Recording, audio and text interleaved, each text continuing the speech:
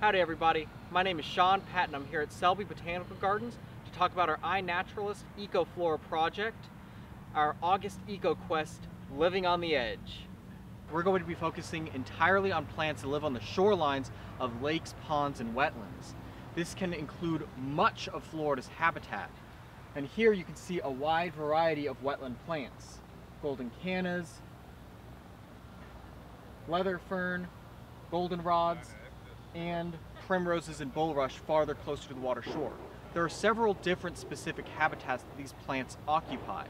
The most closest to shore and the one we'll be focusing on is riparian habitat. This is right at the water's edge, so when you're living on the edge, you're in a riparian habitat. And these plants include some of the most beautiful flowers in Florida. Canna lilies, scarlet hibiscus, crinum lilies, all enjoy the shallow, wet area that oftentimes only has the roots of the plant wet. One of the most beautiful wetland plants living in the riparian zone of ponds, or living on the edge, is the scarlet hibiscus. These hibiscus plants can get up to 8 feet tall and have massive red flowers that attract large butterflies and pollinating insects.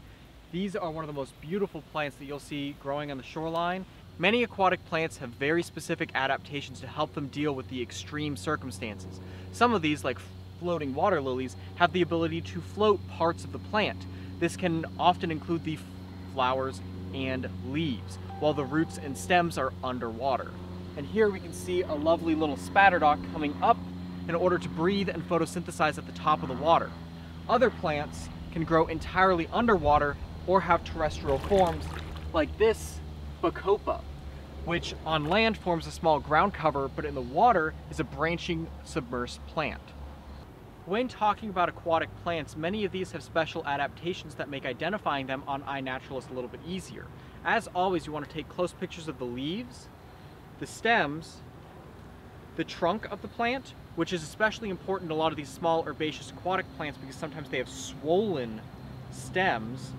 If they're a floating plant, you want to take pictures of the roots as some plants can only be identified by changes in root structure, and if there are any flowers, always take pictures of those.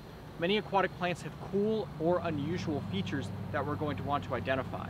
As you can see here, the stems are very swollen and have air pockets, which help the plant stand upright in the water. One of the oldest and most common aquatic ecosystems in Florida are cypress forests. These trees can actually live thousands of years old and form a unique freshwater ecosystem called the cypress forest or the cypress swamp.